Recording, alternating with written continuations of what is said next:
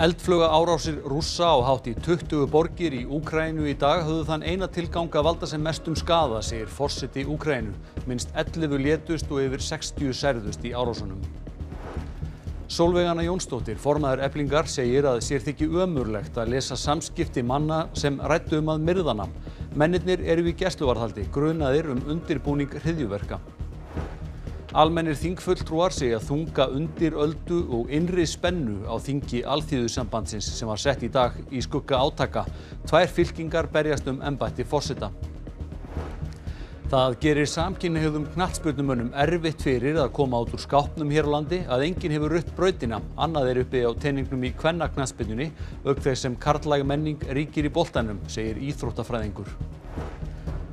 Línumenn Rarik keftust við að hreinsa ísingu af raflínum í nótt og fram eftir morgni. Óveðrið olli rafmagnsleysi á nokkrum stöðum til sveita og dæmi er um að staurar hafi brotnað.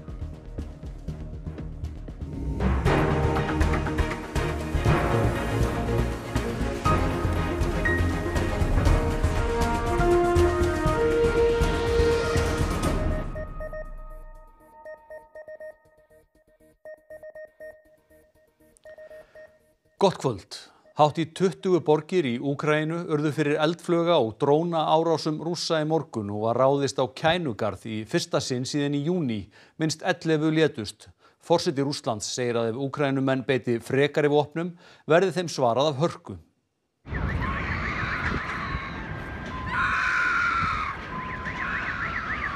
Það var klukkan rúmlega 8 að staðartíma í morgun á há anna tíma sem eldfluga árásinnar hófust. Þær heyrðust meðal annars í beinni útsendingu breska ríkisútasins frá kænugarði.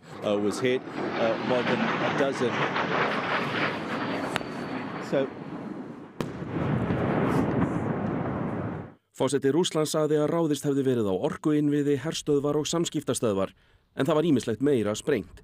Til dæmis lendi ein eldflaug á leikvelli og önnur á göngu og hjólabrú og miða við ummerkin voru þessar flaugar bísna öflugar.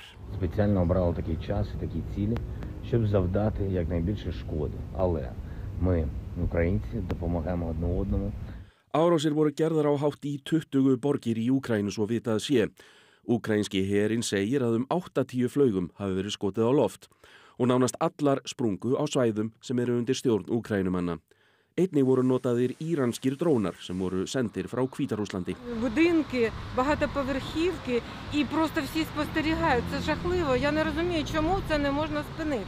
Ramak fór af mörgum borgum og í sumum þeirra gæti tekið tíma að koma því á aftur.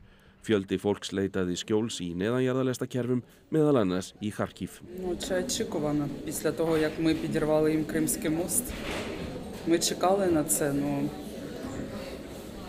Дуже шкода, що таке трапляється. Þetta er ekki úr lausu lofti grepið því Pútín kallaði sprengingarnar við Krímskaga hriðjverka árásir. В случае продолжения попыток проведения на нашей территории терактов ответы со стороны России будут жесткими и по своим масштабам будут соответствовать уровню угроз, создаваемых Российской Федерацией. Ни у кого не должно быть никаких в этом сомнений. Friðrik Jónsson, eh, hvers vegna fara rússar í svona harkalegar árásir núna?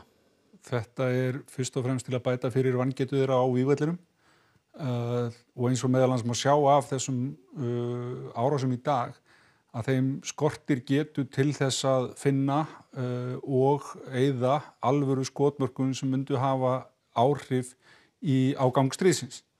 Þannig að, að þetta er svona sært stolt sem þarna kemur og reynir að leysa vandan, hinn taktiska vanda sem við erum að etja með uh, þingri vopnum, uh, meiri hróttaskap og, og meira hömluleysi. Og Putin hótar að meira verði gert. Getur Úkrænu hér staðist slíkt áhlaup? Já, Úkrænu hér mun alveg geta staðið slíkt áhlaup og, og baráttu vilji úkrænsku þjóður en það verðist ekkert vera neitt beigður eða brotin eftir þessar árásir í dag en þá skiptir líka máli að stöðningur haldi áfram. Við höldum áfram, Friðrik, eftir smástund. En þjóðar leittóar viða um heim hafa fordæmt árásinnar utan ríkismála stjóri Evrópusambandsins gaggrindi hver langur tími fari að taka ákvarðanir hjá sambandinu. We had been discussing about the Ukrainian training mission before the war, before the war, for months. For months before the war. Do we have to send a training mission to Ukraine? Oh, come on, Ukraine. Oh, oh training mission, military Ukraine. Boom, then the war comes. And people said, oh, we should have done it. Yeah, we should have done it. And now we are doing it quickly. Well, quickly for the standards, for the European standards. No, quickly for the European standards means a couple of months. Eru þetta kaplaskil í stríðinu?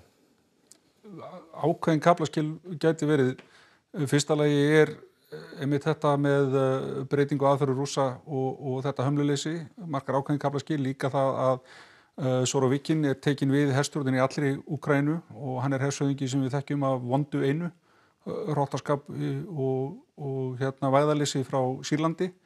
Nú svo er kannski von til þessi ljósið þessum Borrell er að segja þarna að þetta verði svolítið til þess að við á Vesturlöndum verði öflur í og sérstaklega Európu öflur í því að veita stuðning uh, jafnvel veita uh, úkrænumönnum vopp sem við hefum ekki verið tilbúin til að láta það hafa hinga til og það getur verið ákveðin kaplaski líka. Ég ótta samt aðeins líka að við séum að sjá merkjum það að rúsum sé farið að finnast það í lægi að, að útvika þetta stríð eins og sjáum, sáum í, í, hérna, í Nord Stream, uh, sjáum í öðrum hlutu sem er að gerast og hvað er að gerast í Belarus. Þannig að það er, það er alveg full ástæði til þess að óttast að hér séu ákveðin kaplaskil. Takk fyrir þetta, Freyrik Jónsson. Tveir karlar sem eru í gæsluvarðhaldi grunaður um að hafa lagt á ráðinum hriðjuverk rættu um að myrða formann eblingar og formann framkvæmdastjórnar sósélistaflokksins. Þá komu þingmenn Pírata við sögu í samskiptum mannana. Landsiréttur stitti í dag gæsluvarðhald og einangrun yfir mönnunum úr tveimur vikum í eina. Karlmenninni tveir hafa setið í gæsluvarhaldi síðan 21. september. Meðal þess sem skoða hefur verið eru samskipti mannana meðal annars í gegnum samskiptaforritið Signal. Embætti hér að saksóknara gefur ekki upp hver mörg hafi verið nefndi í samskiptunum eða hver mörgum mennirnir hafi talað um að vinna megin. Framkom á samstæðan.is að þeir hefðu rætt um morð á Gunnari Smára Egilsinni, formanni framkvæmdastjórnar Sósalistaflokksins og Solveigu Annu Jónsdóttur, formanni Eblingar. Þau varu kallið til lauruglu til að gefa skýslu sem vittni. Sömu leiðis þeir Björn Levi Gunnarsson, þingmaður Pírata og fyrverandi þingmenn Pírata, Smári McCarthy og Helgi Rapp Gunnarsson, sangat heimildum fréttastofu. Hjá lauruglu voru Solveigu Annu sínt samskipti mannana. Þar kom fram að ég væri sagt um koma lufsa og að um, aðili sem var þáttakandi í þessum samskiptum um, ætlaði sér að drepa mig einn daginn. Hvernig var þér um? Já, auðvitað var þetta fyrst bara svolítið svona skrítið, um, auðvitað óþægilegt, um, en það var kannski ekki svona bara fyrir en ég kom heim um kvöldið og sett sniðið með fjölskyldunum minni og við fórum að ræða þetta þar sem að ég hætti að gera lítið úr þessu og hætti svona að grína einhvern veginn með þetta með sjálfur mér og, og auðvitað bara horfist í augu við það með þeim að þetta væri sannarlega ekkert grín og um, auðvitað bara mjög alvarlegt og ömulegt að þurfa, þurfa að upplifa svona og sjá svona. Solveig Anna segist ekki þekka til mannana sem átt í samskiptum en segir að vissulega hafum verið gaggrínd og að mörgum sé illa við hana. Síðastliðin vetur var henni til dæmis hótað líkamsmeðingum og letun lauruglu vita um það. Ég fæ mér enga öryggiskerslu og við bara tökumst á þetta, ég og fjölskylda mín og förum bara varlega eins og ég segi eins og við höfum verið að gera núna í síðustu mörgum mánuði löngu áður en ég vissi af þessu. Báðir frambjóðendur til fórseta ASI segjast bjartsýnir á að ná kjöri. Fráfarandi fórseti segir að sambandið komi sterkar af þinginu þrátt fyrir persónulega átök. Nærri 300 fulltrúar frá tæplega 50 stjættarfélögum af öllu landinu koma saman á þinginu sem var sett í dag í 40.5. sinn en nú í skugga átaka innan sambandsins. Síðustu tvö ár hafa verið róstöðsam í starfi okkar innan ASI.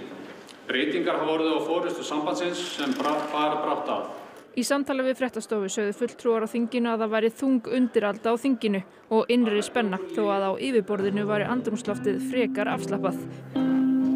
Fórsatakjör þingsins endur speiklar líka klopning innan sambandsins. Fulltrúar tveggja fylkinga bjóða sig fram, Ragnar Þór Ingólfsson formaður Vaffer og Ólaf Helga Adolfsdóttir, rítari stjórnar eblingar. Ef þú kemst í fórsatastól, eh, hvernig hyggstu þá leysa þessar deilur innan ASI? Það verður náttúrulega engin einhliða lausna því ég sast ekkert niður og segi bara nú ætla allir að hafa þessu vel. Þetta verður bara samstagsverkefni og, og það verður allir að koma viljur að borðinu og það er bara mikilvægt að við leifum öllum aðeldafélögum að hafa sína skoðanir og sína rödd. Það er val hvort að þetta verði vettvangur verkefliðsbaróttu framtíðarinnar eða þetta farir hreinlega í einhver upplaust. Og þá er ég ekki að tala um sjálf á mig, heldur bara almennt séð að, að hér höfum við tækifæri til þess að snúa bökum saman eða að, hvað að segja, innprenta þessi átök, einri átök inn í framtíðina og félagin fara þá bara sitt í hverju lægi inn í kjærasamlinga. Strax í upphafi þings hófst Ólöf Helga handa við að sapna undirskriftum til að geta borið fram tillögu um að skipun fulltrú og eblingar á þinginu yrði úrskurðuð ógild. Ólöf segir að vinnubröð formans eblingars hafi verið ólýðræðisleg. Hún gaf í rauninni eblingafélögum ekki tækifæri til þess að hafa aðkomi að uh, valinu. Kjörbrjáfanemnd ASI tók tillöguna fyrir en hafnaðinni. Verkefni þingsins er að marka stefnu sambandsins til næstu tveggja ára og ný fórista verður kjörinn á miðugudaginn. Finnir þú fyrir stuðningi hér í dag? Já, mjög miklu stuðningi. Ert þú bjartsveit að ná kjöri? Já, ég er svona mátulega bjartsveit. Það er í svona fjöldarhefingu þar sem að fólk hefur mjög skipta skoðanir og tekst á um málefnin. Það sem hefur núna verið á undarförnu kannski hefur verið persónulegra og það eru þetta kannski tengist líka málefnunum en ég held að þetta muni komandi hérna út að það við munum koma mun sterkari út af þinginu heldur en við fórum inn að. Formaður fjárlaganefndar Alþingis segir ámælisvert hjá starfsmönnum bankasýslunar að þykja veitingar og tækifærisgjafir upp á 20.000 í tengslu við söluna á hlut ríkisins í Íslandsbanka. Starfsmenn bankasýslunar þáðu bæði gjafir og veitingar frá Íslandsbanka verbreyðafyrirtækjum og öðrum ráðgjöfum í tengslum við sölu og hlut ríkisins í bankanum. Þetta kemur fram í minnisblæði bankasýslunar til fjárlaganefndar Alþingis. Tvísvar var þeim bóði til kvöldverðar þar sem heildar kostnar og hvert starfsmann nam 82.000 krónum. Einni fengu þeir ímsar tækifærisgjafir, þar á meðal þrjár vínflöskur fyrir alls 12.000 krónur og koktelasett fyrir 20.000. Bjarkei Olsen Gunnarsdóttir, formaður fjárlaganemndar óskaði eftir þessu minnisbladi. Hún segir þetta að vekja spurningar um fagmennsku. Og ekki síst í ljósi þess að, að bankasýslan á að vera þessi óháði aðili. Við hefum gætna að tala um armslengdina frá fjármálaráðandunni yfir til bankasýslunar og mér hefur þótt að það sama ætti að eiga við hjá bankasýslunni gagva þeim aðilum sem að hún er eiga samskipti við. Þannig að já, mér finnst þetta vekja svona spurningar um fagmennsku. Finnst þetta óeðilegt? Já, já, ég ætla að lefa mér að segja það. Mér þykir þetta minnst okkurst ekki gott fordæmi. Ég verð nú að játa það. Þetta er eitthvað sem ég finnst að ætti ekki að eiga sér stað hjá stopnun sem þessari. Von er á skýslu ríkisendur skoðunar um bankasöluna í lók næstu viku. Ríkistjónin hefur þegar bóðað að bankasíslan verði lögð niður. Bjarkei segi velkoma til greina að starfsmenn stopnarinnar endur greiði þessar gæfir. Já, svona í fjármunum tali að þá hérna uh, finnist manni kannski bara eðlilegt að menn gerðu þetta upp. Já, já, ég held að það geti alveg verið einn ein, ein leikur í stöðunni en auðvitað fyrst og síðast þá er gjörningur búin að eiga sér stað og það er ámælisvert. Allt bendir til þess að lítið hlaup úr grímsvötnum hefjist á morgun í Gíukvísl. Almannavarnir hafa líst yfir óvissustígi vegna þessa. Mælingar jarðvísindastofnunar sína að vatn er byrjað að streyma úr grímsvötnum og vonir á hlaupi í Gíukvísl á morgun sem á hann á hámarki á miðvöggudaginn. Stutt er frá síðasta hlaupi og lítið vatn í grímsvötnum því má rekna með að hlaupið verði lítið. Íshellan í grímsvötnum hefur síðum næri þrjá metra á síðustu dögum. Fluglita kóði fyrir grímsvötn hefur verið færður á guðlan þar sem erfitt er að útiloka að eldgós hefjist í kjölfar hlaups þó að telist ólíklegt. Menningin og skortur á fyrirmyndum er meðal þess sem gerir samkynhegðum knaspunumönnum erfitt að komast út úr skápnum, segir íþróttafræðingur og fræðari hjá samtökunum 78. Íger Casillas, fyrirverandi landslýsmarkmaður Spánar og Real Madrid byrti fæslu á Twitter þar sem hann sagðist vera komin út úr skápnum. Carlos Puyol, fyrirverandi fyrirliði Barcelona, fagnaði því og sagði nú þyrst að fara að tala um samband þeirra tveggja. Í framhaldinu byrti Casillas aðra fæslu þar sem hann sagðist ekki hafa skrifað þetta, heldur hefði reikningurinn hans verið hakkaður. Carlos Puyol hins vegar baðst afsökunar á brandarunum sem hefur ósmekklegur og bað hins eginn samfélagið afsökunar.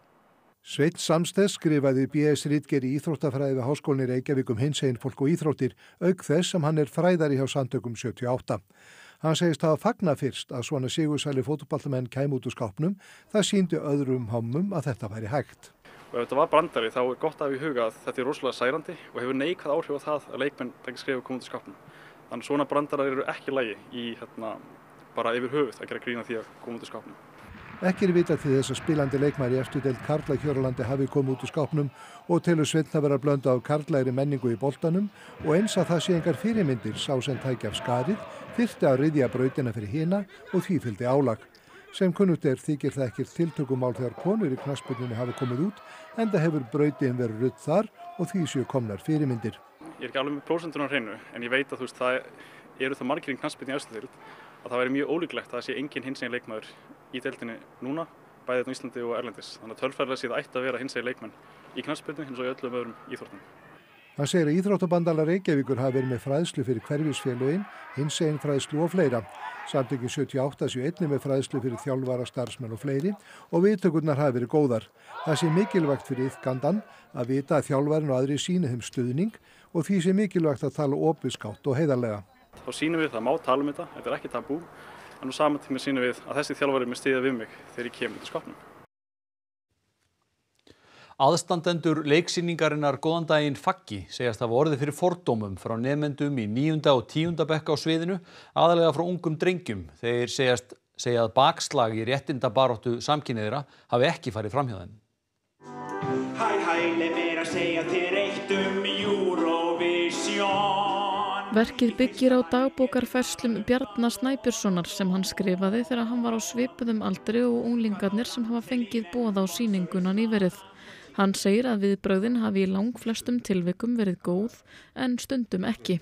Þetta er náttúrulega, veist, hérna, uh, bara viðkvæmur aldur og það er alls konar í gangi og svona og, og við veitum það alveg og, og kannski augrar það einhverjum að, að hérna á sviði mætir uh, óafsakandi hommi og segir sára sögu sína að hafa alist upp í hérna, mjög heteronormatífi samfélagi á hérna, vestfiðum Tónlistarhöfundur síningarinnar Axel Ingi Árnason segir að bakslag í réttindabaráttu samkynneðra sem hefur verið í umræðinu undanfarið hafi ekki farið fram hjá þeim á ferðalæginu.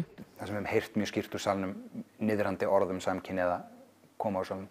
Þegar það hafa orðið svona fram í köll eða svona einhver atvik á síningunum hjá okkur, hvernig hafa viðbröðin verið frá jafningunum, frá eins og öðrum, öðrum ungmennum í, í salnum? Í þessum örfáðu síningum sem hefur eitthvað svona komið upp á að almennt höfum við verið að fá bæði viðbröð frá skólunum, frá kennurunum, þar sem þeir vilja tala við okkur eftir á og, og, og fá hjálp með hvernig á að díla við þessa hluti. Svo höfum við fengið líka bara mjög falleg bref, uh, tölvuposta, frá samnemyndum, þar sem þeir byggðast afsökunar og hegðun samnemyndan sinna og segja bara okkur fannst þetta aðeinslegt og bara takk fyrir að koma til okkar. Bjarni segir fordóma úr salnum þó ekki sitja í þeim. Þar sem snerti þá einna mest sé þegar nefendur gefið sig að þeim eftir síninguna. Það finnum maður alveg að það er einstaklingur sem er kannski í einhverju tókströtu eða er kannski að velta hlutum fyrir sér og, og það er einhvern veginn er ekkert stærra en það að hafa náð kannski til þessa einstaklings.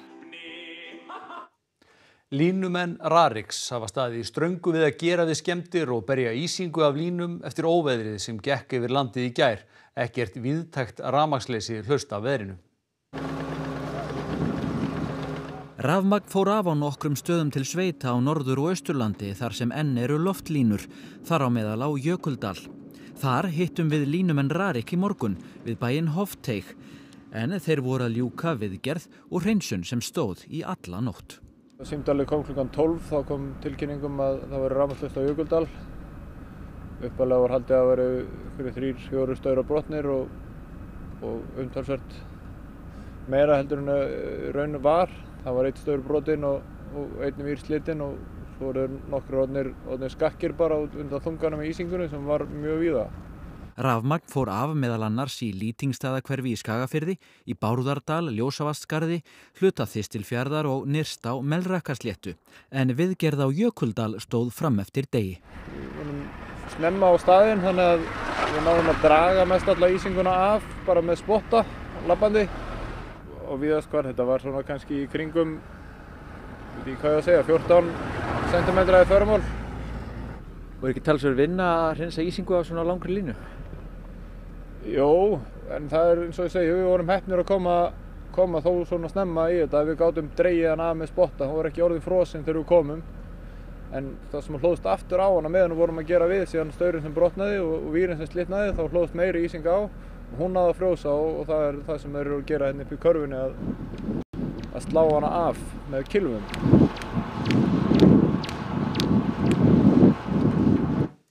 Já, Sigrid Dögg, hvað ætlar að bjóða upp á í Kastljósi í kvöld? Já, við ætlum að halda áfram uh, frá því þið fjalluðum hér í fréttinni um uh, svona fordómagagart hins einn börnum sem hefur verið svona komið upp á yfirborði í grunnskólum. Við ætlum að fá Ingilefi Friðriksdóttur til okkar og, og Bjarnar Snæbjörnsson. Svo ætlum við líka að spila hljóðbút, mjög sjokkrandi hljóðbút sem að hins einn drengur ungur fekk sendan og dögunum frá hópa strákum sem við hvetjum alla til þess að horfa og hlusta á til að sjá hvernig umræðan er í raun og veru gagvart hins eginn börnum í dag. Svo ætlum við að hitta hans upp fyrir stóra leikin á morgun og svo fyrir við í leikus. Emitt það, við sem ekki að kastljósi. Og þá á veðri, vaksandi suðaustanátt, suðvestanlands í kvöld og nótt, suðvestan 10 til 18 metrar á sekundu og rigning á morgun, hægar í norðaustanlands og þurft fram eftir degi. Hitti víða um og undir frostmarki í nótt en fjögur til nýju stig þegar kemur fram á morgundaginn. Sigurður Jónsson, veðurfræðingur, fer nánar yfir horfurnar að loknum íþróttafréttum. Þorkell Gunnar Sigurbjörnsson sérum þær í kvöld. Hvernarlandsliði fótbolta ætlar sér sigur í Portugal á morgun. Ísland getur með sigri tryggt sér sæti í lokakeppni HM í fyrsta sinn. Borki Ómar Ingi Magnússon, nýja Viktor Gísli Hallgrímsson verða með íslenska handboltalandsliðin í fyrstu leikjum liðsins í undan keppni EM í vikunni. Og spennan er mikil í neðru hluta bestu deildar Karla í fótbolta. FH og leiknir mættust í dag. Íþróttir hér eftir fréttir. Þá komið að því að rifja upp helstu aldriði frétta. Eldflöga árási rússa á hátt í 20 borgir í Úkrænu í dag höfðu þann eina tilganga valda sem mestum skada, segir forseti Úkrænu. Minst 11 létust og yfir 60 særðust í árásunum. Sólveig Anna Jónsdóttir, formaður Eblingar, segir að sér þykji ömurlegt að lesa samskipti manna sem rættum að myrðana. Mennirnir eru í gæsluvarðhaldi, grunaður um undirbúning hryðjuverka. Almennir þingfulltrúar segja þunga undiröldu og innri spennu á þingi Alþýðusambandsins sem var sett í dag í skugga átaka. Tvær fylkingar berjast um embætti forseta. Það gerir samkynniðum knattspöndumönnum erfitt fyrir að koma át úr skápnum hér á landi að enginn hefur rutt brautina. Annað er upp á teiningnum í kvenna knattspöndu, segir íþróttafræðingur. Og línumenn Rarik keftust við að hreinsa ísingu af raflínum í nótt og frammetti mótni. Óveðrið olli ramagsleysi á nokkrum stöðum til sveita og dæmið er um að staurar hafi brotnað. Næstu fréttir verða í sjónvarpinu og útvarpinu klukkan 10 kvöld og rúf.is er uppvarður allan sólarhengin en við þökkum ykkur samfélgina það sem afir þessum degi. Verið sæl!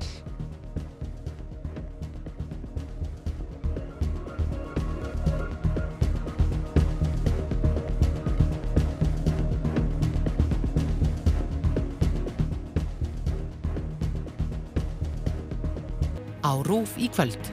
Jörðin séð úr geimnum, heimildatháttaröð. Myndavélar í geimnum veita alveg nýtt sjónarhorn á